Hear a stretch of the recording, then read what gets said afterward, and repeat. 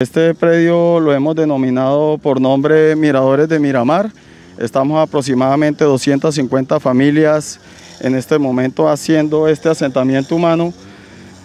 Personas barranqueñas, familias jóvenes que buscan un techo digno donde vivir, un techo donde pasar eh, con sus familias, con sus niños. Hacemos un llamado a, la alcaldía distrital de Barranca Bermeja, encabezada por, el señor Alfonso El Hash, que por favor eh, nos permita hacer uso del artículo 41 que dice que todo colombiano tiene derecho a una vivienda digna y por lo tanto no estamos en, acto de, buscar problemas ni de atentar contra nada, Simplemente estamos eh, ocupando este terreno y estamos abiertos a cualquier diálogo, a, cualquier consensuación con, los, con los entes que haya que hablar